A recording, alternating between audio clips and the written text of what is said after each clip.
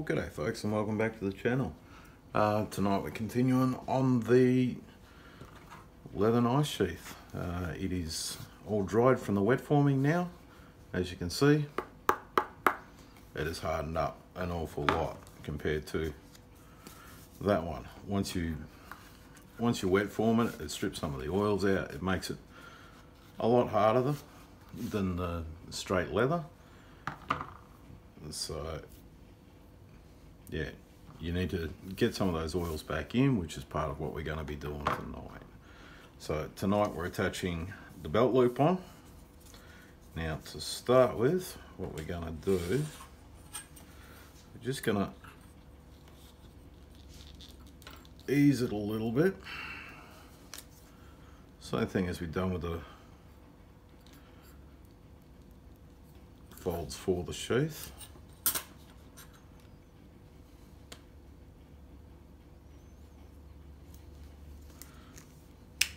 Just gonna take a little bit of leather out just to make it so it's gonna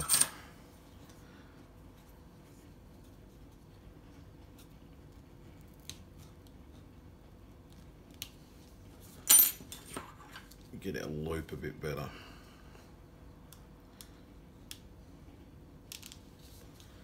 Okay, now the cuts don't go all the way to the edge.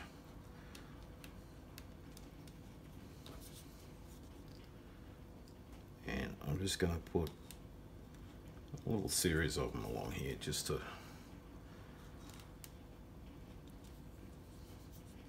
help it to get that bend a bit easier.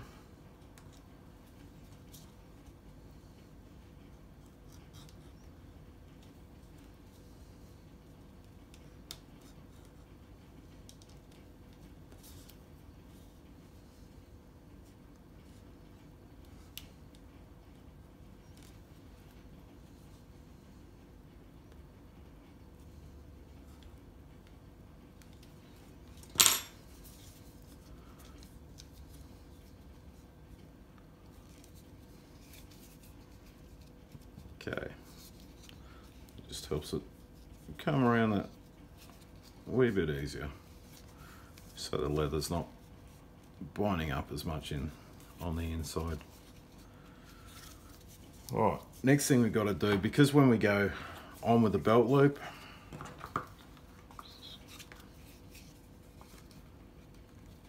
we won't be able to finish these edges properly and also we won't be able to finish the leather underneath properly. So we need to finish the edges of this one before it gets stuck on and we need to put a finish on here as well. So what we're going to do is just using a beveling tool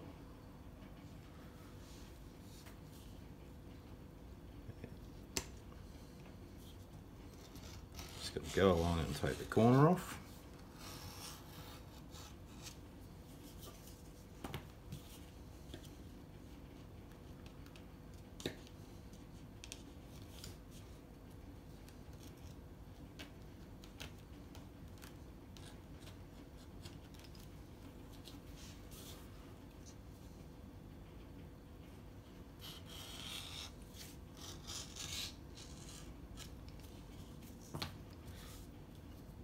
doing that to the four edges that we won't be able to get to later.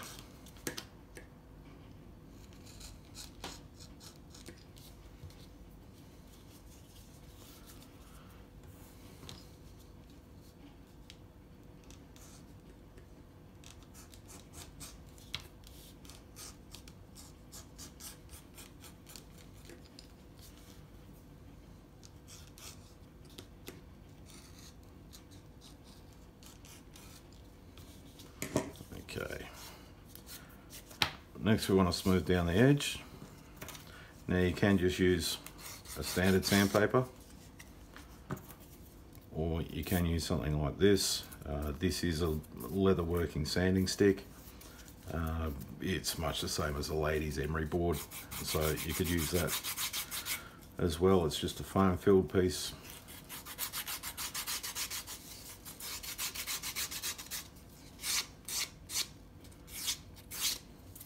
with sandpaper on each edge. One side's a bit coarser, the other side's a bit finer.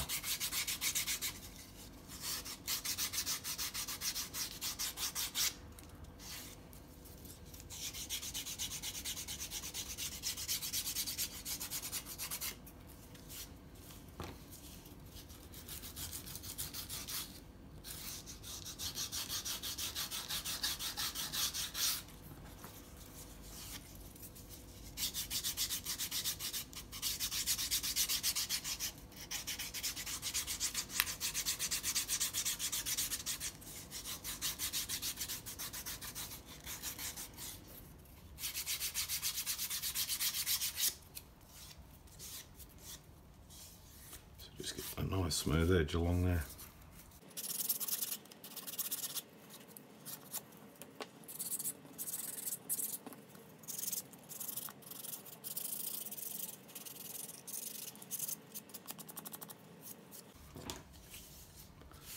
Okay. Now we're just going to check it for fit.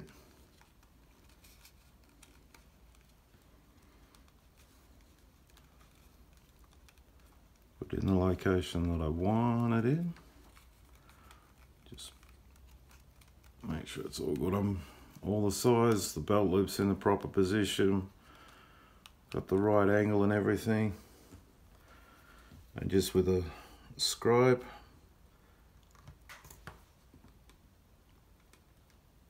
I'm just going to make a little mark.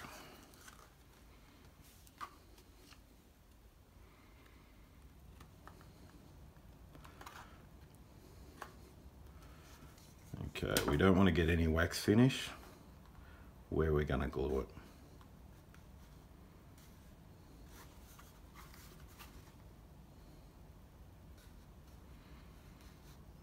because the wax will hold the glue off.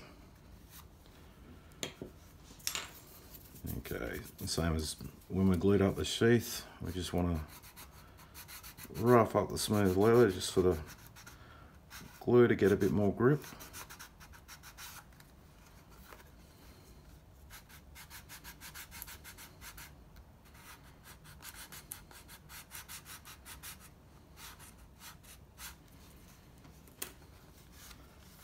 Okay, our next step is to slick down this edge. So we just get a bit of water.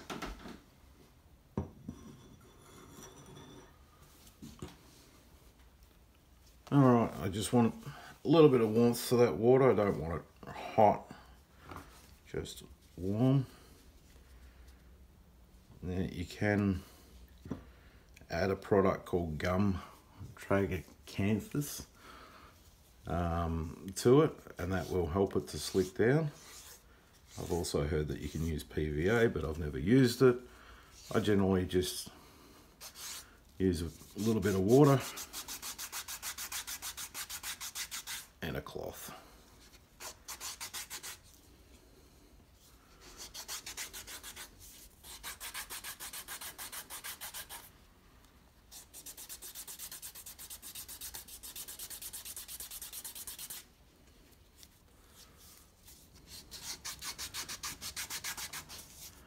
And you're after a bit of friction here. Looking to build some heat up.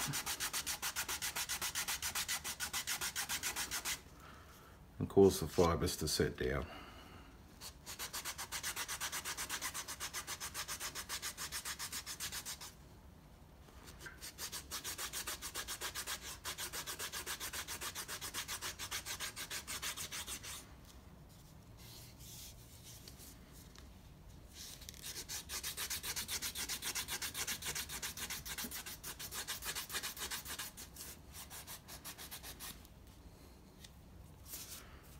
Another thing you can use is a slicking stick.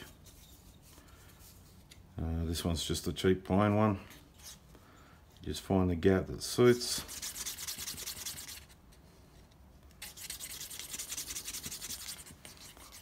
And you're just burnishing that up.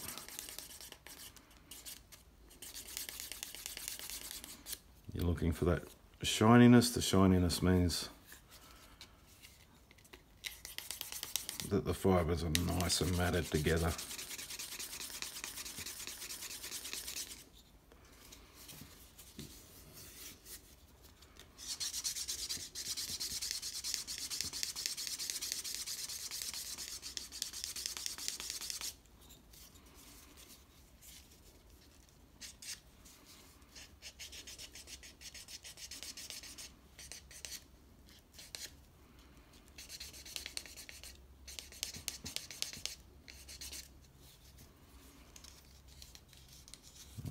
Go, nice and slick and burnished in.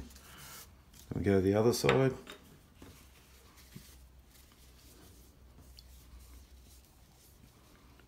Again, cloth with a little bit of water.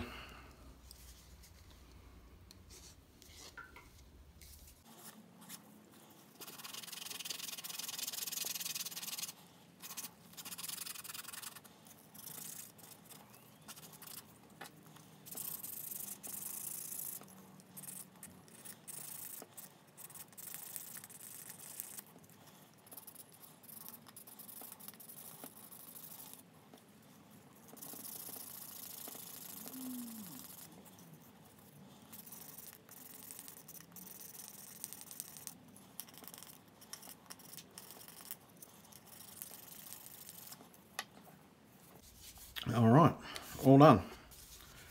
Now, our next step is we want to put some wax on the areas that we're not going to get to later. So we can't get in underneath there and we can't get in underneath there too well. So we're going to put our wax finish on those.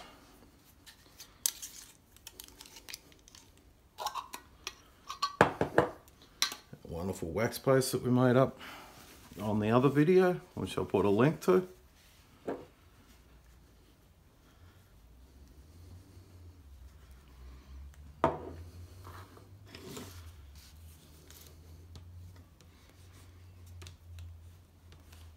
Okay, we don't want to go all the way down the end there.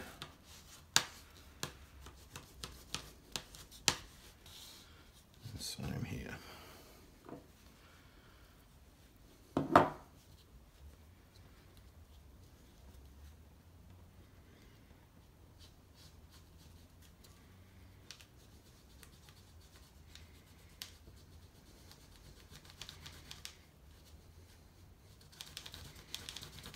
Again, I'm just going to use some friction to melt that in.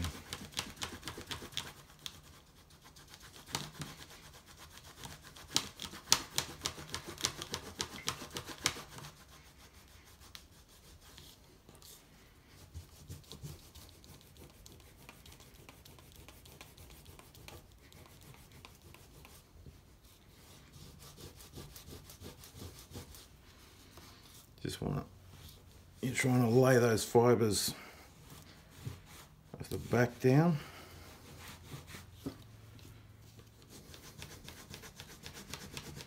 And the wax will help them to mat up. Okay, so that's that one. Next we do our sheath. Now, when you're working the leather, do to one section, you keep going through. So I want to take it right out the end. Don't want to get it in our gluing spot.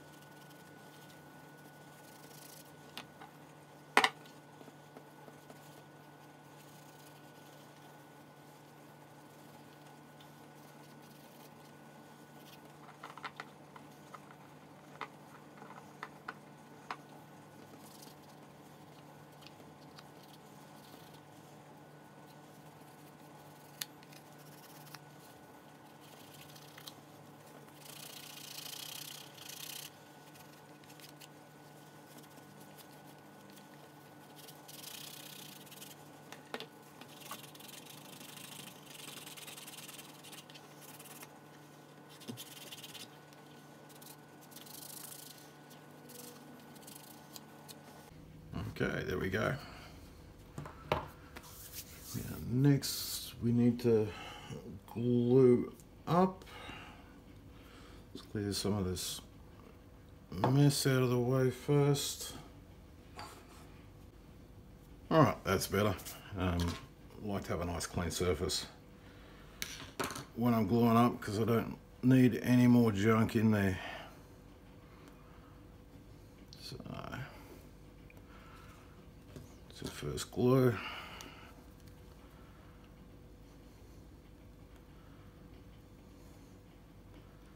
Now, inevitably, you will get a wee bit of wax when you're doing that first coat.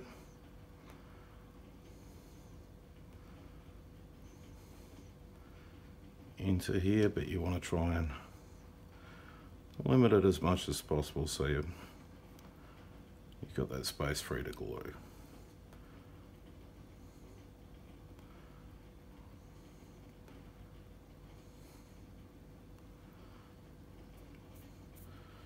Okay, we just wait for that to go tacky.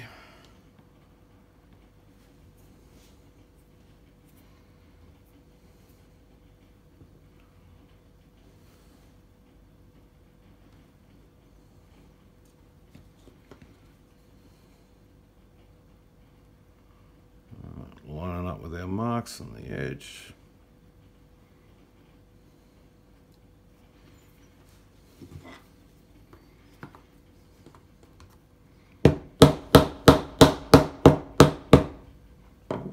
Bit of pressure to drive it home.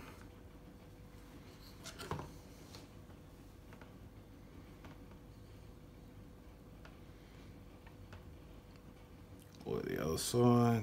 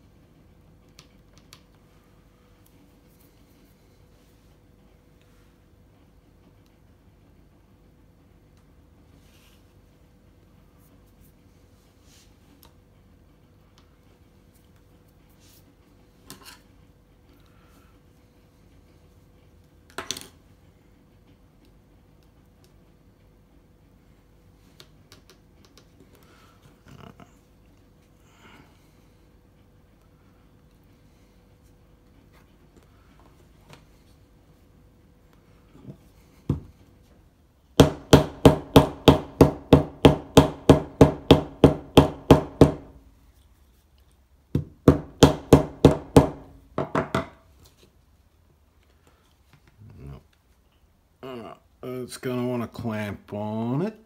So uh, I'll just grab a clamp. And, and back again. One of those nights tonight. Sorry, folks. Okay. Flush.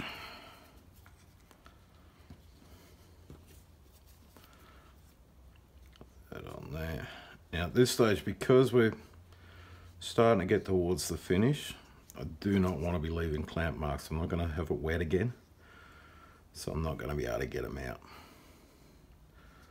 So last thing I want to do is leave clamp marks on here at this stage.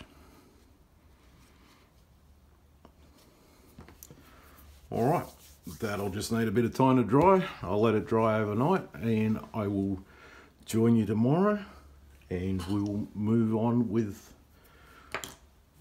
the getting the stitching laid out and ready to go. Uh, so please like and subscribe. You can come along with the journey with me and thank you very much for watching. Don't forget to hit the bell icon. Thanks. Bye.